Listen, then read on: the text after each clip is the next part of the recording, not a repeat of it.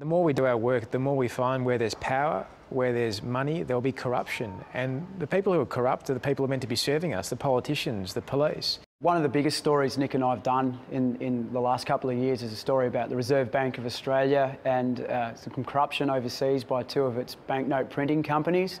It involved transfer of millions of dollars into tax haven bank accounts around the world. Nick and I were subpoenaed to uh, testify. Oh, we both agreed we weren't going to reveal our sources.